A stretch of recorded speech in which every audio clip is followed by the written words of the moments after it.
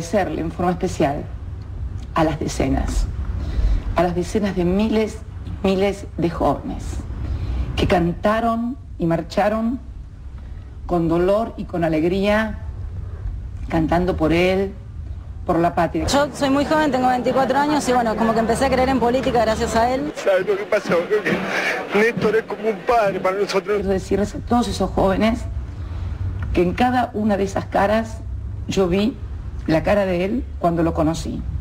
Ahí estaba el rostro del exacto. Lo recordamos como el, el hombre que nos devolvió la esperanza. ¿Cómo lo vamos a recordar? Me puse re triste cuando, cuando nos llamó mi suegra para contarnos que, que se había muer- muerto Néstor y nos pusimos re tristes, muy tristes. Nunca me pasó eso con, con un político.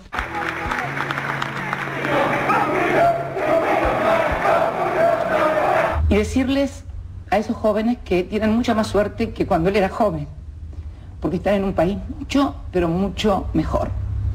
En un país que no los abandonó, en un país que no los condenó ni los persiguió. Evidentemente lo que mostró eh, el, el velatorio fue que hay varios miles, varios miles de jóvenes que se han enrolado en la cámpora, casi fanatizados por una prédica, y es la situación que se daba en situaciones prerevolucionarias. Por ejemplo, la República de Weimar, era la- Alemania, una república perfecta en los años 20, pero Hitler estaba montando algunos miles de fanáticos, o Mussolini en Italia, ¿no?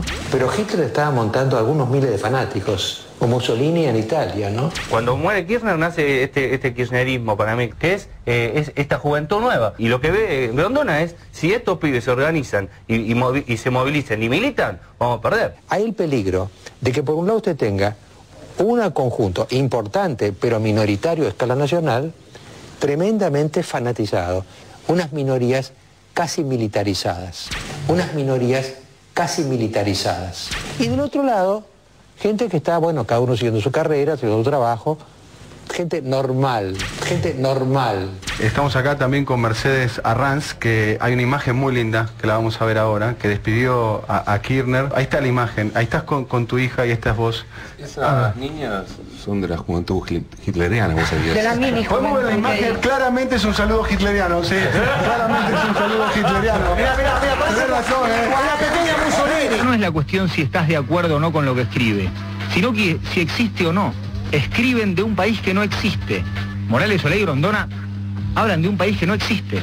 La Nación, por Joaquín Morales Solá. Gestos que perfilan el futuro del gobierno. La escenografía del sepelio ayer dio las primeras muestras de que Cristina Kirchner se volcaría hacia los fundamentalistas. Sobraron las consignas sectarias. Morales Oley y Grondona hablan de un país que no existe. Y me parece que eso ya los descalifica como interlocutores. Hitler estaba montando algunos miles de fanáticos. Wir wollen eins, ein Reich sehen. Und wir möchten nun, dass ihr, deutsche Jungs und deutsche Mädchen, in euch all das aufnehmt, was wir dereinst uns von Deutschland hoffen. Todos saben qué? Lo hemos hecho con mucho amor. Había un muchacho ahí que levantaba un cartel verde. Ese, qué lindo que es. El amor es mucho más importante que el odio, porque el odio, el odio mata las almas. El odio no te deja querer. Y nosotros tenemos mucho amor para dar en cada cosa que estamos construyendo y en las que vamos a seguir construyendo para todos los argentinos. Hitler estaba montando algunos miles de fanáticos. Wir wollen, dass dieses Volk einst nicht verweichlicht wird, sondern dass es hart sein kann. Und ihr müsst euch in der Jugend dafür stehlen. Ihr müsst lernen, Entbehrungen auf euch zu nehmen. Könnt nicht anders sein als mit uns verbunden. Und wenn die großen Kolonnen unserer Bewegung heute Siegen durch Deutschland marschieren, dann weiß ich, ihr schließt euch den Kolonnen an und wir wissen,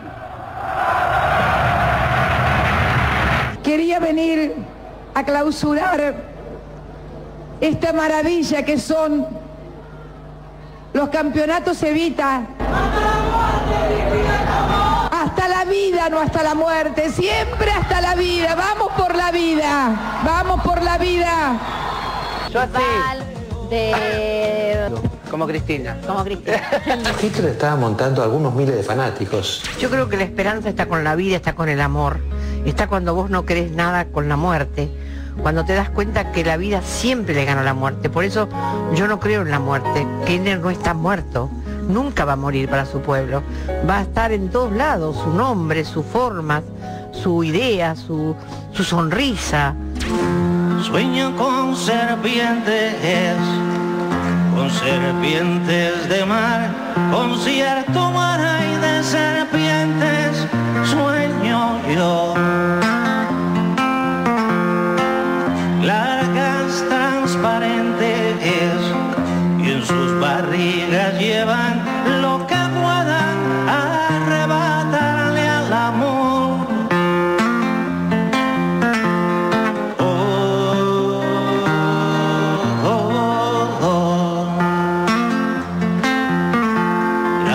Mato y aparece una mayor.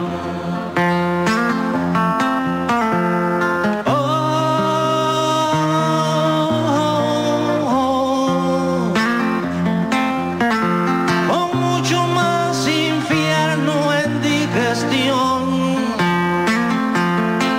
Yo les voy a decir lo que dice la gente, lo que dice la gente, la calle. Uno, es feo lo que voy a decir, ¿eh? Que el cadáver no estaba en el cajón. Se dice eso. ¿Lo habrán escuchado o no? No, no me digan que no. por no, no lo queremos escuchar, No, no no, yo- bueno, Llegué a Santa Cruz a la madrugada y no- El cadáver no no, no, estaba. Otra cosa, que el cajón no era lo suficientemente largo, extenso, como para que cupiera el, el cuerpo del presidente. Es verdad, es feo, es, es desagradable hablar de un- de una persona que ha desaparecido así, pero bueno, eh, esto es televisión. No quiero que hagan más comentarios tan desagradables sobre mi hijo Daniel, que ya no está en este mundo. Eso no se hace, señores. A los seres que ya no están entre nosotros hay que respetarlos. Para los que están diciendo disparates, terminen con esto. El cadáver no estaba en el cajón. El cajón no era lo suficientemente largo, extenso, como para que cupiera el, cuerpo del presidente. Para los que están diciendo disparates, terminen con esto. Ya la televisión ha llegado a puntos increíbles. Es desagradable hablar de una persona que ha desaparecido así, pero bueno, eh, esto es televisión. Ya la televisión ha llegado a puntos increíbles. Esto es televisión. Me parece de muy, muy mal gusto, de, de- de muy poco respeto por la gente que, que- que- que- este, que está aún dolorida, que todavía sigue dolorida con, con la muerte de Kirchner. Si está en el cajón, no está en el cajón, si es largo, si es corto. ¿Cómo se va a emocionar si está pensando que el cajón está vacío? ¿Ustedes vieron cuando acariciaba el, el cajón? Era un gesto de amor, de cariño, era estoy aquí con vos, te acompaño. Todos nos emocionamos muchísimo con esto, todos, yo también. El cadáver no estaba en el cajón. El cajón no era lo suficientemente largo. ¿Ustedes vieron cuando acariciaba el, el cajón? Todos nos emocionamos muchísimo con esto, todos, yo también. Hay que ser coherente, ¿no? Si yo voy a hacer una crítica respecto de algo, no sé si me cabe la emoción. La emoción me parece más un tema de, de marketing, una cosa más marketinera, pues seguramente entre su público debe haber un montón de kirchneristas, ¿no?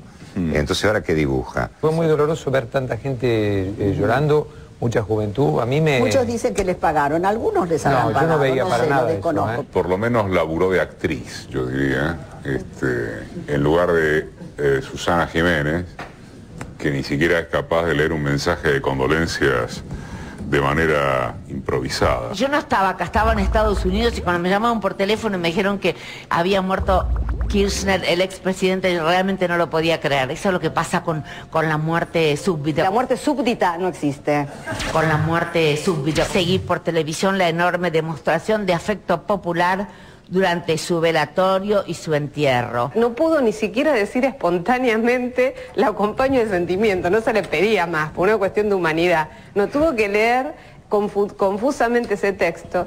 Los argentinos somos discutidores pasionales y todo como era él, pero a la hora de, de una desgracia, este, el pueblo se une y estamos como unidos. Aunque no pensemos como pensaba él, no, no, no, no importa. A Susana alguien, un productor Sí. le tiene que decir, Susana, no podés leer un comunicado frío.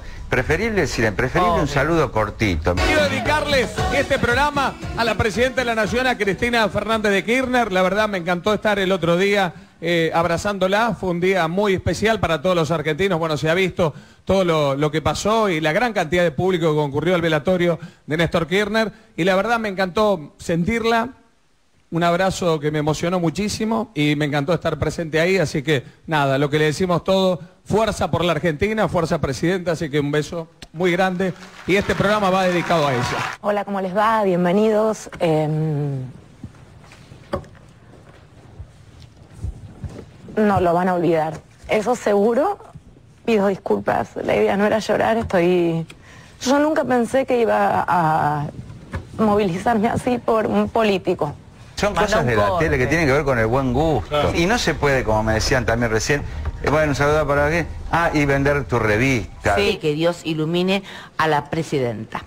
Bueno, em, a ver, ¿qué tengo que decir ahora? Ay, que son unas lindísimas. ¡Ay, sí! Las flores que me mandaron del grupo Q, mi revista. Mi revista. Una buena producción le hubiera dicho, Susana, decir que estás muy dolida. Vamos a un corte. Y vamos a un corte. Me tocó trabajar en diciembre del 2001, allí en Plaza de Mayo, en Casa de Gobierno, y fue una de las cosas más tristes que me tocó vivir en mi vida. Volví el miércoles pasado, a pocas horas de la muerte del presidente, del expresidente Kirchner. Pienso que entre las dos plazas son dos momentos históricos muy distintos. Eh, pasaron muchas cosas, muchas cosas cambiaron, de las cuales somos responsables todos los que aquí estamos, pero sin lugar a dudas también es responsable este hombre que hoy estamos despidiendo. Es verdad, y estoy de acuerdo. Y bueno, de parte de toda la producción de Impacto 9 le mandamos un abrazo muy fuerte a la presidenta. Y nos vamos a un corte, pero enseguida volvemos. Una buena producción le hubiera dicho, vamos a un corte. No quepo en su boca, me trata de tragar, pero se atora con un trébol de mi sien.